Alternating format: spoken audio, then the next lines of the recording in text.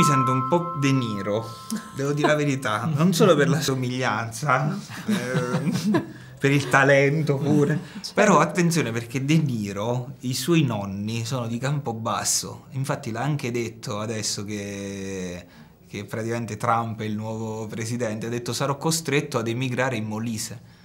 E quindi lui proprio viene da Campobasso, dalla mia terra, quindi vedi, escono tutti guarda. da lì i grandi attori. Io dico sempre che noi, come ho detto prima, brilliamo di luce riflessa.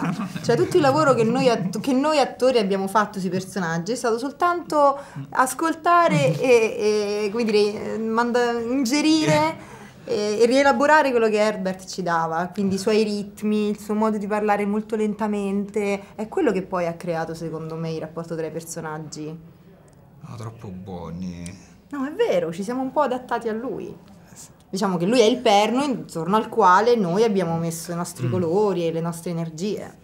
Però insomma, prenditi questo merito. Grazie lavorare con lui è la cosa più facile che possa succedere, cioè non, non ci sono scontri, si ragiona, è una persona molto intelligente lui, per cui insomma... Le, No, veramente è stata una cosa semplicissima, fin dalla scrittura sul set, l'unica cosa è che si stanca facilmente.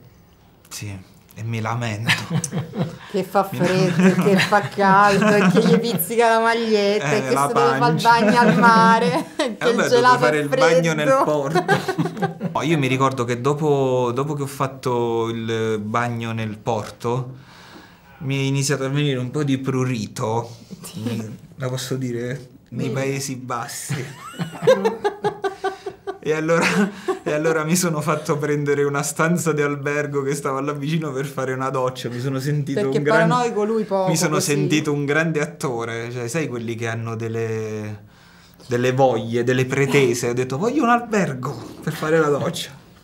C'è stata una scena, io mi ricordo questo, che c'è stata una scena che è quella del falco, quella in cui io racconto la storia, che è stata la scena del provino, quindi imparata a memoria tipo mesi prima per il provino. Poi l'abbiamo fatta, ma per problemi di, di tempo mancava un controcampo.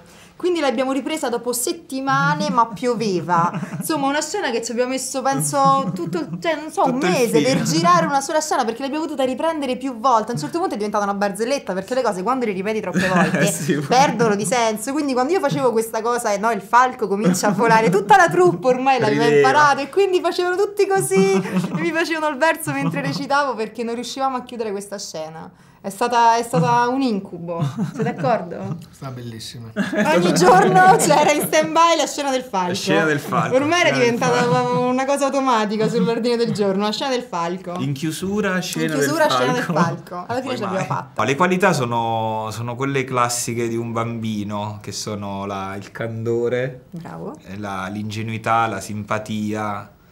E insomma le qualità sono quelle. Non parlare ha, non, fuori dai denti. Parlare fuori dai denti, non ne ha altre, diciamo a livello, a livello pratico ne ha poche. No, l'empatia però, con gli altri L'empatia, ragazzi. l'empatia, sì, con i bambini, con quelli adulti poco. Vabbè.